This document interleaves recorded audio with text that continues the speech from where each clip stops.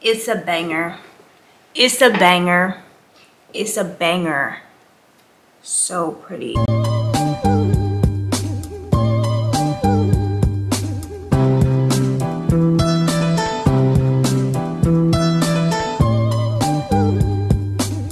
I'm Chaka Starkes and welcome back to my channel. Welcome if you're new here. I am about to do some tape-ins. I'm really excited about this because my last tape-in video, I had no idea what I was doing and I feel like now, you know, looking back, um, as always, I've learned from my mistakes and I'm excited to like do things a little different. So I have tape-ins from Ywigs and um, so excited. Not as scared as I was the first time, but very excited because one of the things I really, really wanted to try, and one of the things that I'm like, yeah, this would be so much better if, is a different texture. A texture that wasn't straight, that is curly or wavy. I really wanted to try because with the straight hair, although it was nice and pretty easy to maintain, it was straight. So my hair, you know, as soon as my hair would start to revert a little bit, you could totally tell. So this is their curly hair. It's in 22 inches. It's so pretty. And I also think it's going to help my hair look fuller because my hair is super fine. I am really excited. So this is what the tape looks like. So this is their natural deep wave texture. It's so bouncy and springy and it just looks so pretty. Look at the ends, y'all. It looks so good from the top to the bottom. And so I got three bundles in 22 inches. I highly doubt I'll be able to put all of this hair in my hair, but I'm really gonna try it because I want a very full look, um, you know, and my hair is super fine and my head is pretty small. So we're to see how many of these I can fit on my head. So of course I am starting off with freshly washed hair. I did my silk press. If you want to see how I got this look, go back and watch my silk press video because that's really important to just start on hair that is straight and clean so that the adhesive does not slip. If your, if your hair is oily or dirty, this adhesive is not going to stick and your tape-ins will be sliding out. So make sure your hair is clean and it's also just easier to work with. It's easier to kind of see how your final look is going to be and you know where you want to place your tape-ins. So something that I'm doing different this time is I'm going, gonna make sure that my tape-ins are going toward my face. Last time I kind of just did them straight back in a line because I had no idea what I was doing and I was really, really scared. But this time I'm feeling more confident and I'm just gonna kind of do what I know works. Just like if I'm laying my tracks for a sew-in or a quick weave or even how I do my, um, even how I do my clip-ins. So I'm going to try to mimic that install.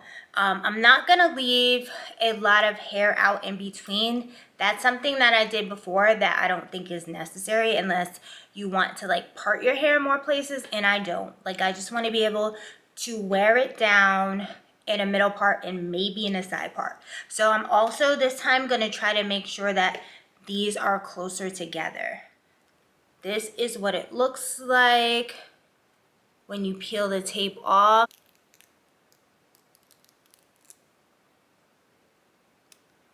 Like that. And this is how much hair is on each piece really excited. I am hoping that it gives me, you know, a lot of fullness in body and volume and all that good stuff.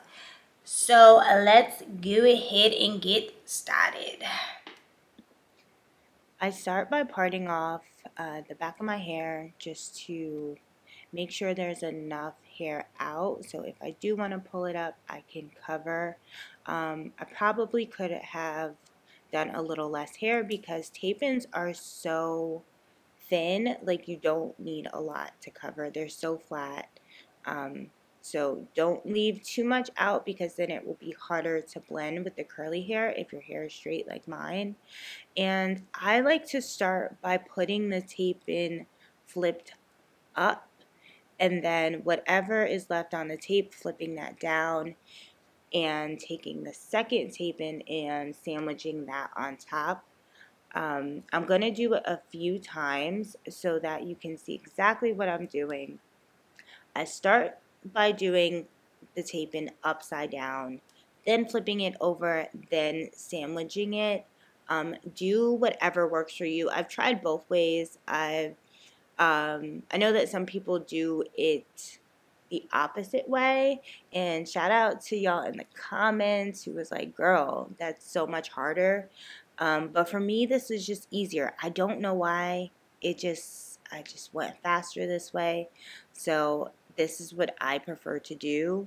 Um, when I got in the front, I did kind of switch, maybe because I could see it a little better and I didn't have to worry about too much hair sticking onto the tape, but do whatever works for you.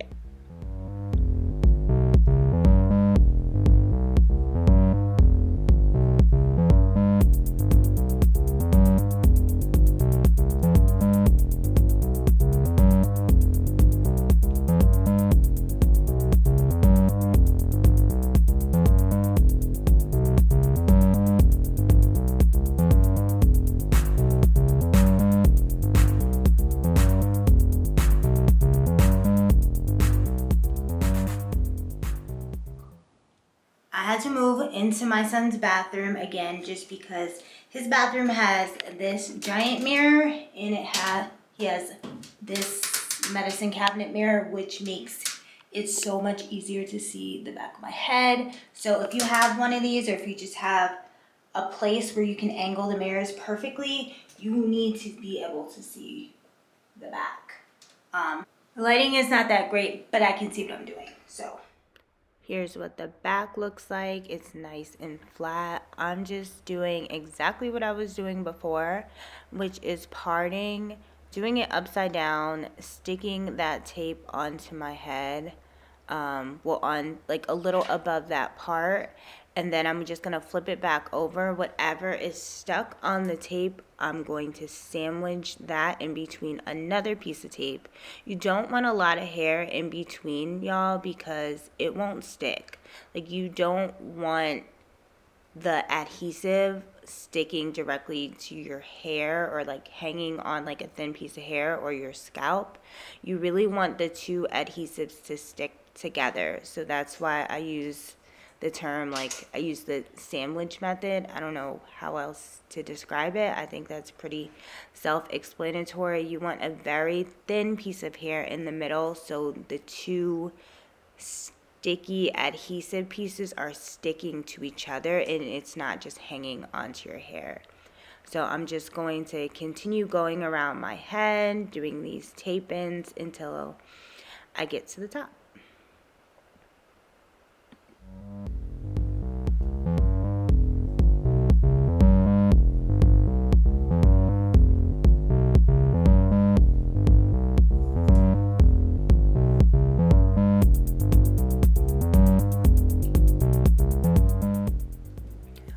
Also super important that before you're like pressing it together to secure it, you're making sure that this tape in is flexible and you can move it up and down. So you want to flip it and make sure that it's not uncomfortable when you move it up and down. That will let you know that you'll be able to put your hair up if you want to and it won't create any tension or be really uncomfortable. So before you sandwich it together and like really secure it by by pushing it in, just kind of move it around and make sure it's at a good place. Um, so I'll like press it in lightly. Some people also use a flat iron to secure this adhesive. I don't do that. I think that um, just pushing it, pressing it together is good enough, but do whatever works for you.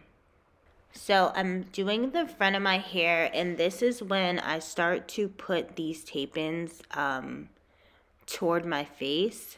So instead of like going straight back, I'm kind of doing it at an angle so I make sure that it falls toward my face um, so that my edges are covered or any like thin areas are covered.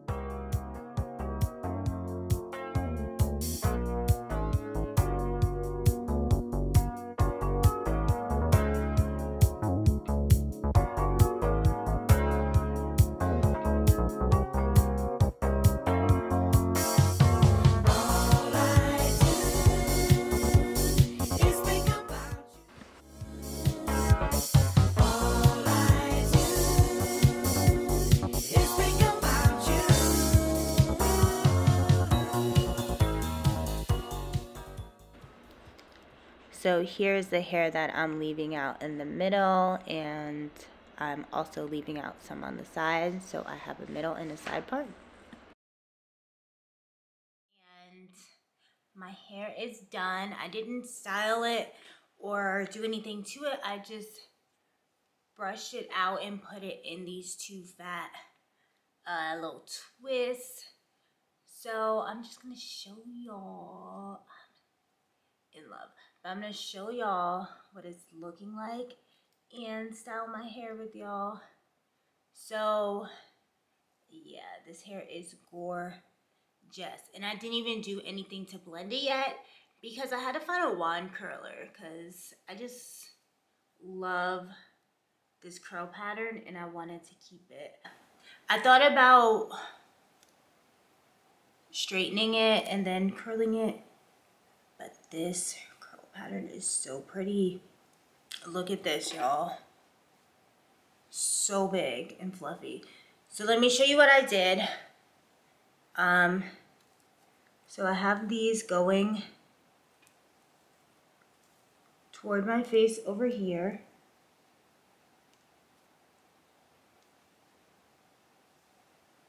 I don't plan on pulling it up, but if I wanted to, I would probably just pull it back like this.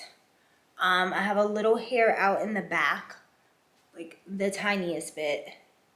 Again, I don't plan on wearing my hair out, but I definitely could if I wanted to. And then this is where I did something different.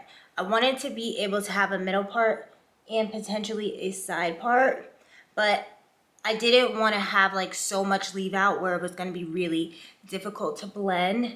So I just put two tape ins right here and I will be able to flip that over and have a side part if I want. Love that for me, okay? Love that for me. I'm probably just going to keep it twisted like at night like I just showed you. Um, also, my hair is also really fine at the top and in the middle. So I didn't bring the tape ins all the way up because if I did, my hair is just, it wouldn't have like, I don't know. I don't think I would have felt comfortable and like, also my hair is really fragile in the middle, just like my edges. So I try not to get too close to that area. I'm really trying to be delicate with my hair and mindful of like my sensitive spots. Um, I'll go into some more detail about that in another video. But I say all that to say, the more um, tape-ins you use closer to your parts, the easier it's going to be to blend your hair if your hair is not already this curly texture. Um, so I'm gonna have to do a little more wand curls for my leave out. See, this is all my leave out. I'm just gonna have to do a little bit more wand curls there to blend it, but it's all good. Get into this texture. Get into this texture. This is their body wave, y'all. This feels really good. It's so soft and it's so dense, so it makes my hair look really full. I really like the way that that looks, and it still blends. Um, like the texture still matches my texture, even though I haven't like even though I haven't even did the wand curls yet. So I'm just going ahead and brushing it out, just making sure that there are no tangles because I want to put a little bit of layers in the front. Oops. And obviously I'm making sure not to like brush from the top. Start from the bottom and work your way up if you have tangles. Um, I just want to trim a little bit.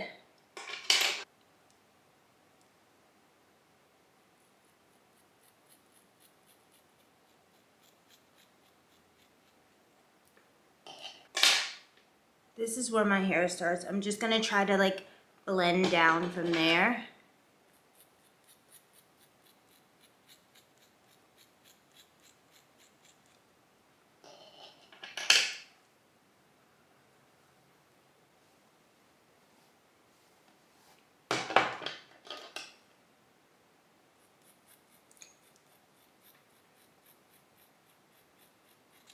If you have real long hair, be careful with this part because it's not like your hair is braided up. It's not a sew-in. You'll end up cutting your hair. I know where my hair stops, so that's pretty much where I'm starting the layer. Looks so good. The end looks so good. I don't even feel the need to trim them. And then I'm going to do the same thing on this side. This side, I'll do a little less because I have more leave out on this side. Because I have my side part here out.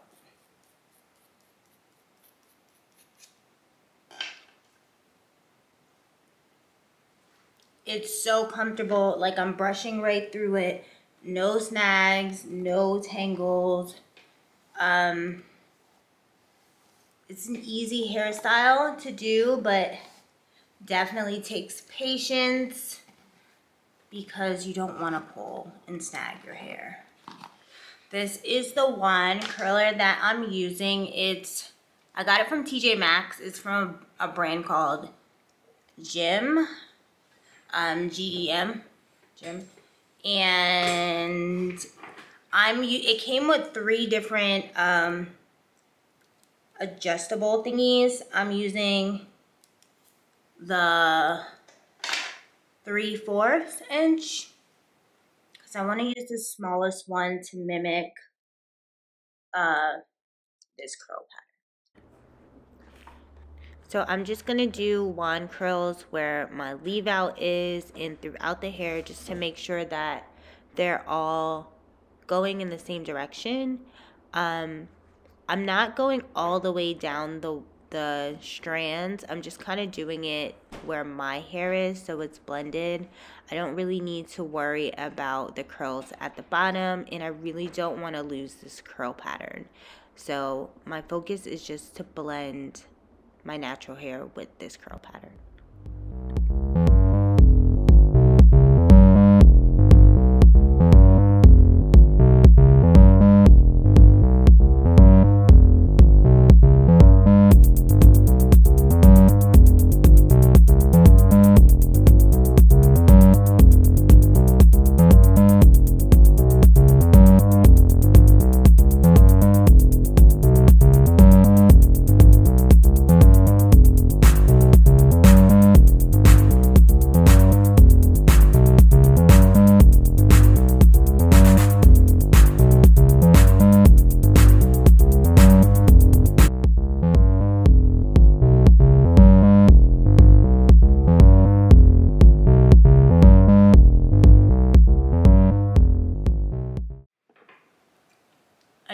My brush and I'm just gonna brush.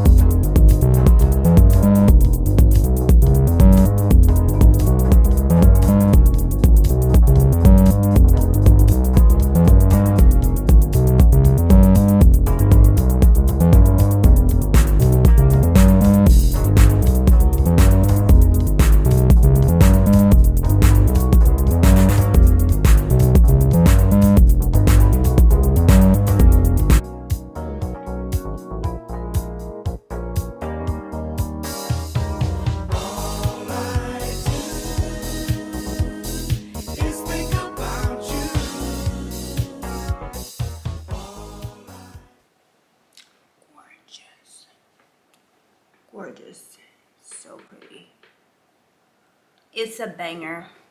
It's a banger. It's a banger. So pretty. I'm obsessed with this hair. It is so versatile. It's so comfortable. It was really easy. I can do so many styles. Like, get into this texture, y'all. So, if you like this hair, if you like this video, go ahead and give me a big thumbs up. Leave me some love in the comment section. And make sure you shop the links below for Ywigs. This was my first time using this company, and I will definitely be using them again. Thanks for watching. See you in my next video. Bye.